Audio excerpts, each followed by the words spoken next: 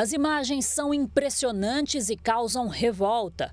Um homem com uma criança passa pela calçada e ateia fogo em uma das palmeiras. Rapidamente, o fogo se alastra. Um carro está estacionado ao lado e por pouco não é atingido pelas chamas. O dono desse outro carro não teve a mesma sorte.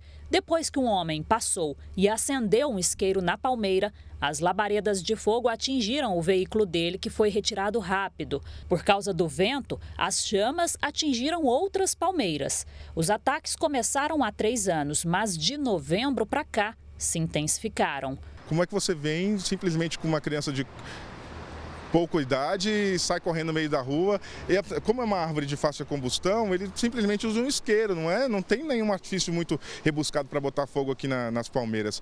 Assim, o exemplo é péssimo que ele está dando à criança e, a, e colocou a criança sob risco, que no vídeo dá para ver ele sair arrastando a criança pelo meio da rua com carros passando. Se os moradores não apagam as chamas rápido, elas chegam até a copa da palmeira e ameaçam derreter e estourar os fios de energia. Essa outra também foi incendiada e está bem ao lado de um transformador. O que as pessoas não entendem é o que leva alguém a fazer isso. Alguém que despropositadamente chega e sai ateando fogo em todas as palmeiras do condomínio, aqui desse lado você já tem cinco palmeiras aqui totalmente já é, com que pegaram fogo.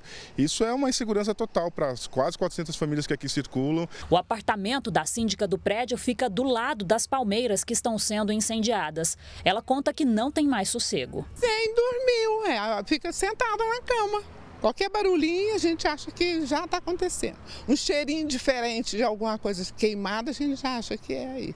O medo é um incêndio, incêndio é pegar explosão, incêndio, um incêndio eh, que vai ser uma, um, um pavor para todos nós e como que a gente vai, como que a gente vai fazer? Não tem como. O último ataque foi na semana passada a esta palmeira aqui. A gente percebe que o fogo apenas começou, só não se alastrou porque o porteiro percebeu, chamou os moradores e eles agiram rápido.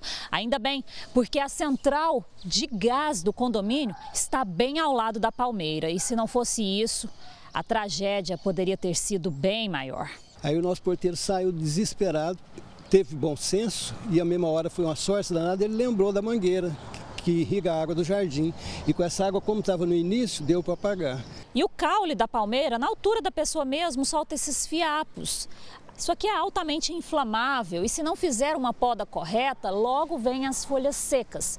Ateando fogo aqui, o fogo se alastra rapidamente. A síndica já foi atrás da AMA e da Polícia Civil. Um boletim de ocorrência foi aberto na Delegacia do Meio Ambiente. A taxa de pedido de poda está paga.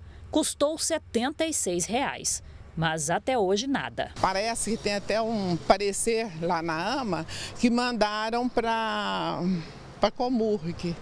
E a Comurg já tem o quê? Mais de mês que o processo está lá, para eles tomar providência. Nós pedimos clemência, socorro aqui aos órgãos de segurança e à própria agência ambiental para que venha aqui e faça, junto com a Comurg, faça aqui a poda das árvores para que a gente tenha um pouco mais de tranquilidade para poder dormir tranquilo aqui no nosso condomínio e a cidade possa um pouco ficar embelezada, né, no mínimo.